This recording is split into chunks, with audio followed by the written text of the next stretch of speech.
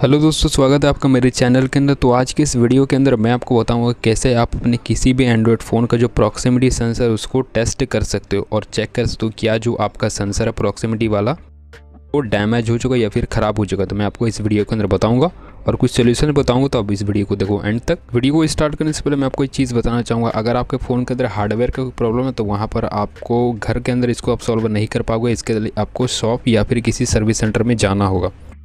तो चलो फिर मैं आपको बताता हूँ कैसे आपको टेस्ट करना है अपने फ़ोन का प्रॉक्सिमिटी सेंसर सबसे पहले जाना आप प्ले स्टोर के अंदर। प्ले स्टोर में जाने के बाद यहाँ पर आपको एक एप्लीकेशन डाउनलोड करना होगा हमारे प्रॉक्सिमिटी सेंसर को टेस्ट करने के लिए। यहाँ पर सर्च पे जाना और यहाँ पर आपको सर्च करना है प्रॉक्सिमिटी सेंसर तो काफ़ी सारे ऐसे एप्लीकेशन आपको मिलेंगे कि यहाँ पर आप डाउनलोड कर सकते हो। लेकिन मैं आपको रिकमेंड करूँगा ये वाला जो एप्लीकेशन सिर्फ़ एक एमबी का जो एप्लीकेशन आपको देखने को मिलता है। और इस एप्लीकेशन से जो आप सभी सेंसर का टेस्ट कर पाओगे, सिर्फ़ प्रॉक्सिमिटी सेंसर का नहीं, आप सभी जो सेंसर आपके फ़ोन के अंदर, उसको टेस्ट कर पाओगे। तो फाइनली ये डाउनलोड हो चुका है। डाउनलोड होने के बाद यहाँ पर इसको जो आप लोग ओपन कर लेना ओपन करने के बाद कुछ इस तरीके का इंटरफेस आएगा। यहाँ पर काफ़ी सारे सेंसर आपको देखने को मिलेंगे। लाइट सेंसर मै कैंपस सेंसर जेरोस्कोप वगैरह मिलता है। तो हम टेस्ट करेंगे इस वीडियो के अंदर प्रॉक्सिमिटी सेंसर को।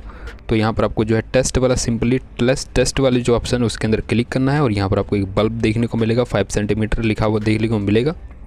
तो जैसे ही आप अपने हाथ को स्पीकर के ऊपर लेके जाओगे, अपने एयर वाले स्पीकर के ऊपर तो यहाँ पर ये बल्ब जो है बंद हो जाएगा।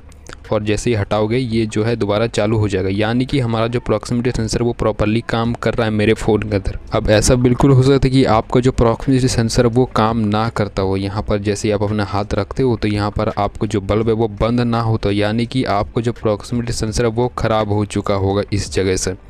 तो आप लोगों को ठीक करने के लिए क्या करना होगा? जस्ट आपको जो इसको थोड़ा सा क्लीन कर देना है, इसको साफ़ कर देना है सही से। एक कोई भी कपड़ा आप लोग यूज़ कर देना, उस यहाँ पर इसको साफ़ कर देना है। और अगर यहाँ से अगर आपका हो जाता है तो आपका प्रॉब्लम सॉल्व हो जाएगा प्रॉक्सिमिटी सेंसर का।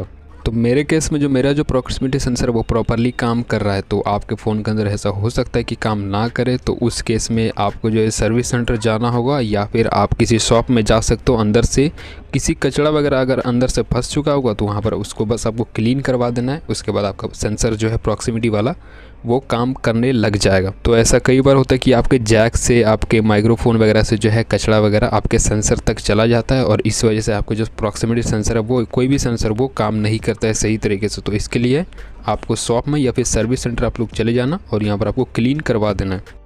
या फिर आप घर में अगर खोल के आप क्लीन कर सकते हो तो आप उसको भी कर सकते हो।